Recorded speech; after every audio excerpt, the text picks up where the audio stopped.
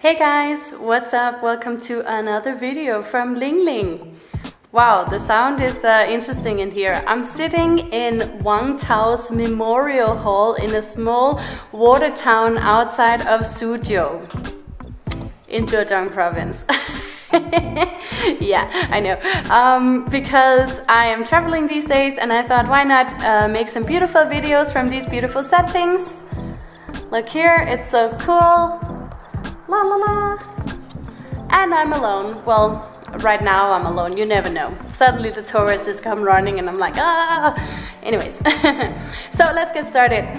This video, today's video, is about the differences between the Chinese universities and the Danish universities. Um, so basically, I'm of course gonna speak from my own personal experience.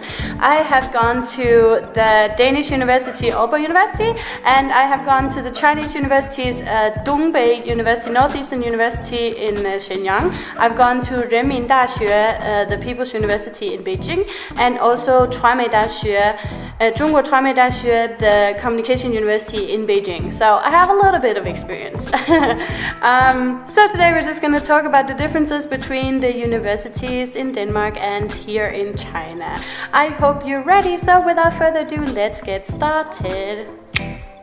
So I have come up with six differences, major differences between the Danish and Chinese universities. Yes, uh, the first thing is the study load. Basically, okay, remember, I am a communication student, so of course it's different if you're a math student, a physics, or business, da da da da da.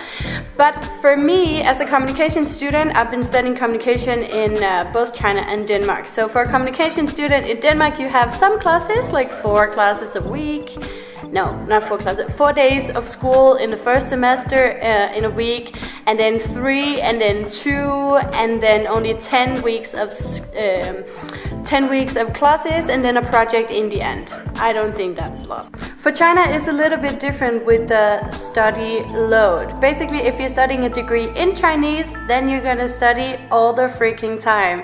You're gonna have classes from morning to evening and then you're gonna make homework afterwards and during your weekends. You're gonna basically have your second home in the library, yes.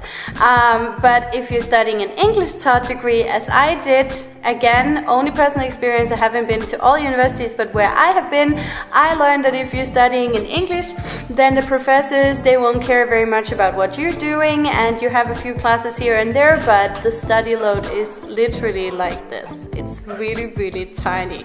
So that's the difference between the Chinese and Danish universities. The study load is not big in Denmark, but in China, it's either massive if it's in Chinese or tiny if you're studying in Another, English. the second major difference uh, is the canteen. So at my university in Denmark, we had like a tiny canteen and you could have food there, yes, but it would be very expensive and people just didn't do it very often. Um, I always brought my own lunch and a lot of my friends also brought their own lunch. Like it's not very common to eat on campus, whereas in China, that's basically what you do. Because people live on campus and that's sometimes their only option, but there are also tons of opportunity but there are also tons of options at the Chinese campus because everyone is eating there and there are so many students so there are like many different canteens but also shops and also restaurants and restaurants around campus and the street stalls and like yeah, you can eat everything, whatever you the want. The third major difference is the accommodation because at the Danish university, my university anyways, and the universities I know of, um, you can't stay on campus. There are a few accommodation options besides the university, but it's not common to stay there. Um, Basically, most Danish people really like to stay in the center of town. And what happened with my university was that my university was in the eastern part, which was kind of like eight kilometers out of the city center. So everyone just kind of found their own accommodation or the accommodation office. Um, what is that called? Like for the for the dormitories? The dormitories are basically spread all over town. So you might not stay close to university even though you're staying in uh, a dormitory. And dormitories are usually Um, mostly in uh, again in my town, um, they're mostly these uh, separate apartments. Yeah, so instead of staying in one room, two people, you have your own little small apartment with like a room and a kitchen and a bathroom. This is very common accommodation um, for uh, Danish students because we just like our privacy too much, I think.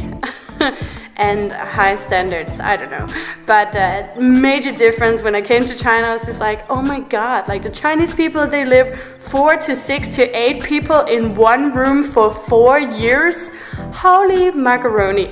And for day, um, not for Danish students, for international students, we're living two people in one room. And again, I was like, oh my god, holy moly, like why? Why? How am I gonna survive this? Um, but I got used to it and I love my roomie now, so I'm fine with it, but sometimes I do miss having, miss, miss, I miss having my own space.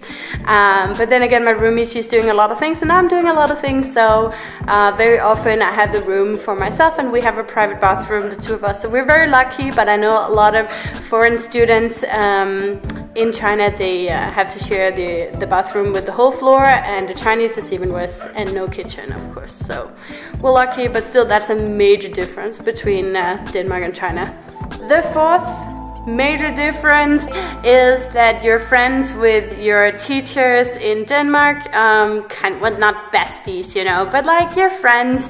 You know each other, you say hello to each other, and uh, you call them by their first names. We always call the teachers their real names, whereas in China we always call them Professor something, Professor Wu and Wei and Yang and Ni Yong Yong. uh, you know where I'm at. um, yeah, so that's a huge difference. The funny thing though is I was surprised this time when I came back to China um, is the fact that everyone is adding their professors on WeChat and they're using their personal WeChat. And I thought that was kind of weird. So like my professor here in China, he will, you know, put out a picture of his, him and his parents during a Chinese New Year. And I was like, why is that on my like that's weird but maybe i'm just used to a more professional relationship but then again it's well, I'm not really because in Denmark it's it's just in Denmark you're like you're friends at the university, but you're not like making you're not friends with your professors on Facebook and such. So the fifth difference is the length of the studies. In Denmark, the bachelor degrees are usually three years, whereas in China they're usually four years or five years. Also, the masters in Denmark usually two years, whereas in China they're usually two year, uh, three years. Sorry. Um, PhD is also very often longer in China. Long time to study. And the sixth difference is that in Denmark our exams are usually usually split between oral exams and also written exams. It's a mix of both, whereas in China most of them are written. Written, written, written, written, written, always written. there we go guys, that's the six major differences. Please comment below if you have more differences or differences from your own country to China or the opposite, you know what I mean. Um, I'm happy to hear from you. Thank you for watching and I'll see you again very very soon. Out, see you and Bye.